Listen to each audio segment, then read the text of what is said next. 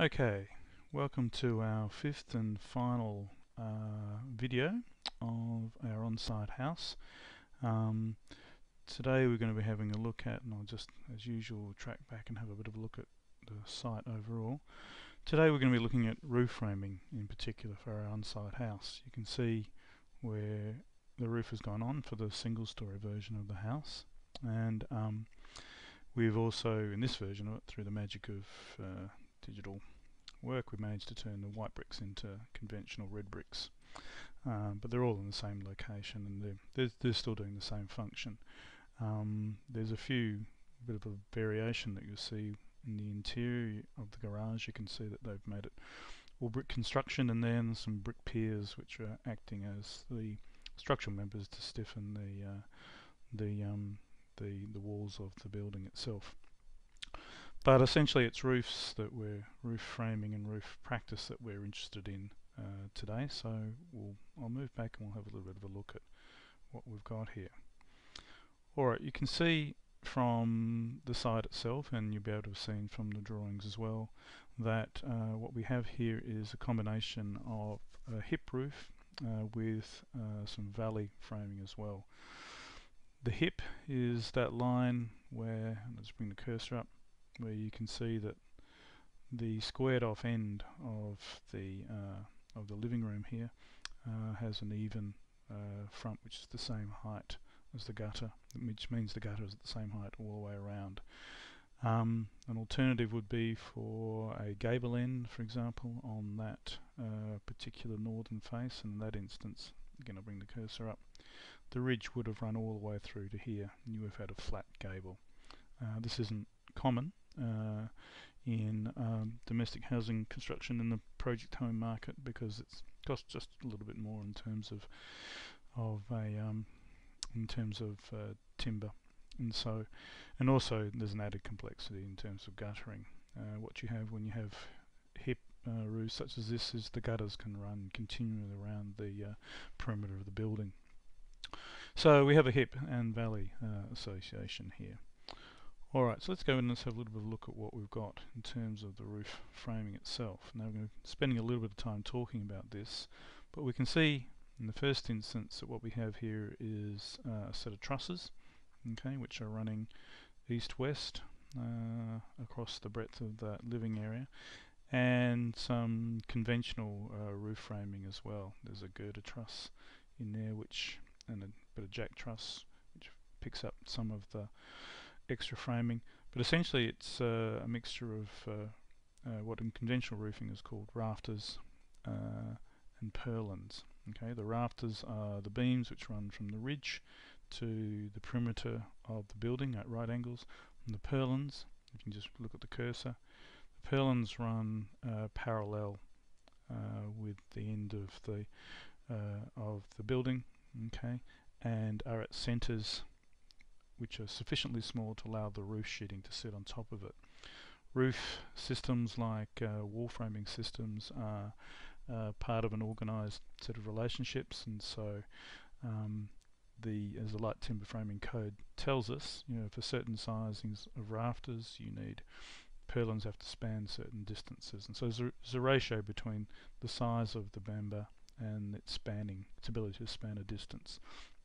And most roof framing uh, is a balance between those two. Um, now we have a few words to say at the end towards issues about where where the uh, what we can see here at the moment. But for the moment, time being, we can see that it's a fairly conventional roof uh, taking place up uh, within it. The truss that you can see here outlined in blue is what you would call a main truss, meaning that it um, uh, spans uh, the two kind of the top chord, the top portion of the uh, truss that you can see here, okay, that runs from the plate height all the way up to the ridge, uh, is doing the same job as a normal rafter uh, would do. But because it's part of a truss system, you can see there's little connectors that connect these members that span in between the, as I said, the top chord up here, the bottom chord, which is essentially where the ceiling is. The members that span in between is called the web. Okay, and together, all of the components of it, uh, the chords and the web make up a, a truss. Okay, so it's important to know that. In if you go to do some bit of a, a literature search or look online for various truss types, you'll see other versions which are used, uh, which are sort of half forms. Uh, things like, as I said, girder trusses and jack trusses are common in the construction industry. What we're looking at uh, in this one here, where the cursor is touching, that's essentially a girder truss. Okay, or sorry, a jack truss because it um, doesn't run to the same height as the main truss, but instead is um, picking up the roof that's falling in an opposite direction. Okay, now the trusses that are being used here, um, why use trusses? And why not use just normal uh, roof framing? Well, essentially, because they're part of a system, they uh, you, the manufacturers of them can optimize the size of the the materials being used. So you can end up getting a lot more efficiency in terms of the volume of timber, or, or it is timber, it's not wood. Wood is what goes on a fire, timber what's used in construction. But the volume of timber that's used to do perform a certain task. For example, if I wanted to have a ceiling uh, joist that spanned the length of where this blue truss is from there all the way across to here, you have to be considerably larger piece of timber. Okay, and that would be more expensive. Uh, it would still need to be kind of tied up to the ridge, probably, in some fashion, um, for stability, and uh, would be, as I said, expensive, difficult to put in place because it's so much heavier. And um, when you multiply that across the entire roof, um, you can see why there's a value in having trusses. Uh, there's also the value in having pre-manufactured trusses in as much as they're done off-site, so there's a quality control, which means they can all be consistent, and because uh, essentially yes, they're easy easy to put up. All right, um, so this is our roof. Uh, if you have a look at, as I said, in conjunction with the drawings, you'll be able to see that um, it obeys a particular pitch. Um, you would know possibly uh, from looking at uh, uh, drawings but also possibly looking at way in which uh, a program like Revit for example might or or ArchiCAD might do a roof is that that it's very important you keep a consistent pitch in a roof because that would allow the uh, transformation for a plane from one direction to the other.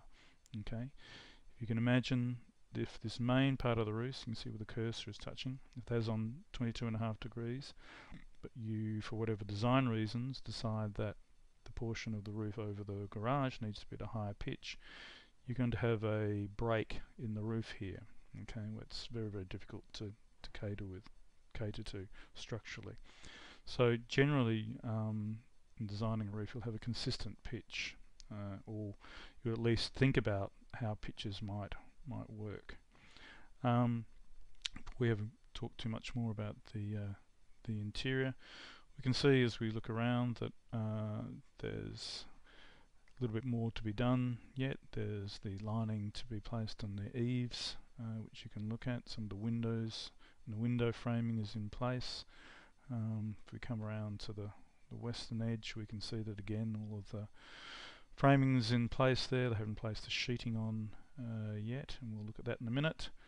But uh, the work is progressing uh, pretty nicely. Okay, so we just walk around again to the front here, and we can come and have a look at some of the some of the materials on the ground. We've got some extra roof sheeting that needs to go up. Okay, and we can tell uh, from the roof sheeting if we come back and have a look at it uh, at the profile up here, or even if we swing around to this side, you can see the roof sheeting. We can see that it's got a kind of dull metallic uh, color. Now I would probably, and that it's got a profile, okay, that is, so I come back, that you can see is this kind of sinusoidal waveform, alright. Now, that's a very common profile, some people just think it is normal roofing tin, but it's called um, Custom Orb, that's the name of it. Um, and the material finish is Zincalume, okay, which means that it's essentially, it has a you know rust retardant in it, but it doesn't uh, have a particular color finished. If you um, wanted a particular color, certainly when you come to the Lysaght or catalog, that's what they term Colorbond, Okay, so a roof has, when you talk about a roof, a roof has a profile and a finish. Okay, and so this is a custom roof with a Zincalume finish in this instance. If we want it to be cream, for example, it would be a custom orb profile, but with a whatever uh, Seadrift, I think is one of them, uh, Colorbond finish. So that's one of the ways in which you distinguish between the difference between material and profile. Okay, roof sheeting comes in a variety of different profiles. Um, this is very common in domestic use. In commercial use, you might have things like Trimdek and, and other profiles which are designed to be um, span longer areas and to be quite uh, quite cost efficient, but are not generally used in, in domestic construction, principally for aesthetic reasons. Alright, so coming inside, uh, we need to have a look at what's going on here in terms of the finish uh, in the interior. And you'll notice that when we look up, we can see that there's a sort of dull metallic sheen on the underside of uh, uh of the the roof itself. That's not the underside of the sheeting. That's actually what's called sarking.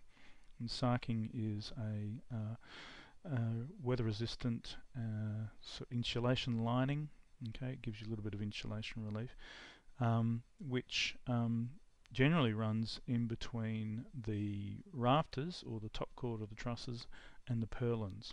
Okay, in this instance, instance, when we look up, we can see the purlins, which means that the sarking is on top of the purlins and underneath the roof sheeting.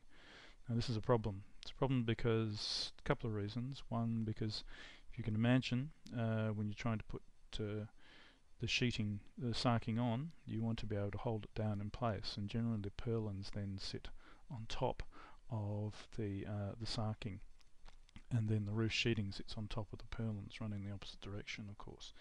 So that's just something to note. And as we've seen in previous uh, uh, previous examples there are kind of little niggles and little mistakes that need to be to be worked out. Okay, and again this wouldn't be a difficult problem to solve, the builder would just have to take the roof sheeting off, actually would be quite a difficult problem to solve. You have to take the roof sheeting off, and then you'd have to take the purlins off and reinstall the sarking underneath uh, the purlins. Okay, so that's uh, that's an important thing to to pick up. All right, so rest of it all looks uh, pretty state, really kind of ship shape, and so we just come back and take a, a last look at the uh, the the work in progress itself, and we can see it's all looking fairly good. Alright, so as I said, this is the last of the videos. Hopefully you found it uh, interesting and informative and you've learnt something uh, about construction and seen, uh, I guess, a building site as it, in a reasonably credible fashion, would look uh, if you were to, to wander about and have a look at the way in which things get put up. Now, what you'll probably realise if you've ever been onto a build si building site is that there will be differences, there will be variations, there are slightly different ways of doing things, which might be because of cost or just uh, habit or, or, or design. Uh, there's nothing kind of set in stone, but most of them follow a fairly uh, general pattern. Anyway, so thank you for watching. Hope you enjoyed this, and uh, hope I'll see you some other time. Cheers.